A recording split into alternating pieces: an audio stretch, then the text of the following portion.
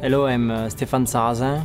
I'm uh, driving for Peugeot with a 908 at uh, Le Mans. I'm at uh, Turn 10 Studio today. I'm coming from France and uh, I'm just coming to say hello to everybody, all the team here, working very hard for the new game. I try to, to give some feedback uh, from the car, the tracks. We try to work together since Forza 2.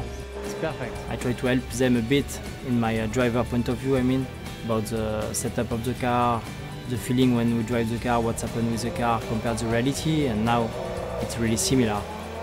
You need to brake like a racing car, uh, very late, big braking, acceleration after the apex. It's like in reality. In the straight line, you feel the speed, you can see the trees, you can feel you go very quick. In fact, for that tree, uh, it's really amazing because uh, the tracks are exactly the same than reality. The bump, the curb, everything. When you drive, you feel like you you are in reality. I brake same point, I turn exactly at the same point, and track the same. So it's good training for me. Last year I did the pole position in uh, Road Atlanta Petit Le Mans in 1065, and now I did the 1067. So you can see it's uh, exactly the same. Forza 3, in fact, I think is very good for a driver like me because we are training a lot before the races, and also it's good for kids, for young people without experience of racing because uh, it's fun.